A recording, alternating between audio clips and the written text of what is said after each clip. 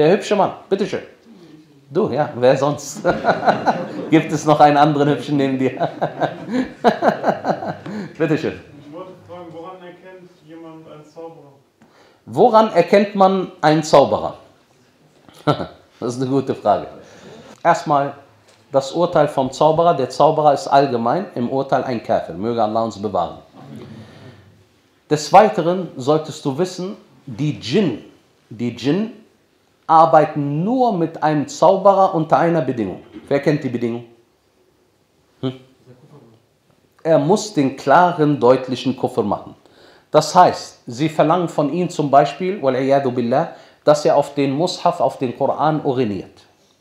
Oder dass er die Ayat, die Verse aus dem Koran al-Karim mit Menstruationsblut schreibt. Weil Menstruationsblut besonders najis ist, besonders unrein ist. Wie erkennt man die Zauberer?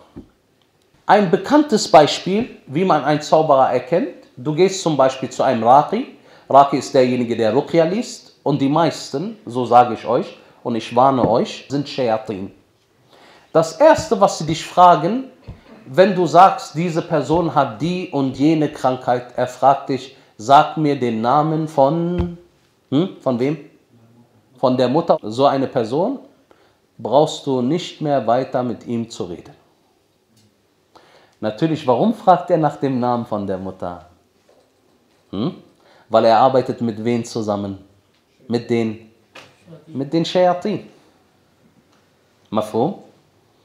Wallahu ta'ala ala